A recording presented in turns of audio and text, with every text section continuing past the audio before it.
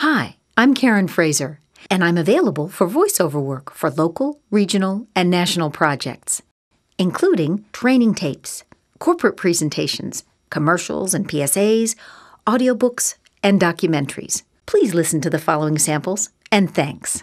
The IPFW Omnibus Lecture Series kicks off the 2008 series in the new John and Ruth Rhinehart Music Center's Auer Performance Hall with Cheech Marin, Tuesday, September 25th at 7.30. Best known as you could make a lasting difference in the lives of people around you. Now you can. October 15th through the 25th, you can have a simple will made for free at a local Write a Will Day event. The Fort Wayne Museum of Art is honored to host an exclusive showing of Brideshead Revisited, a lavish new production of Evelyn Waugh's classic novel.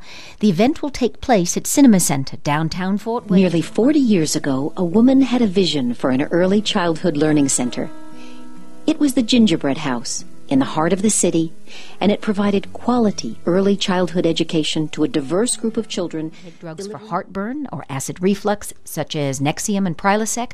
You can fill your vitamin gap with calcium, found in low fat or fat free dairy products, tofu, sardines, salmon. County Parks Department once again presents the Metea Renaissance Fair the last weekend of September at Metea County Park in Leo. Castle gates open 10 to 6 Saturday and 10 to 5 Sunday with jousting, medieval merchants, a maze, children's crafts, dancing. To reach me, you can find me on Facebook at Karen Fraser, or you can call 260 402 6624. Thanks again, and I hope to speak to you soon.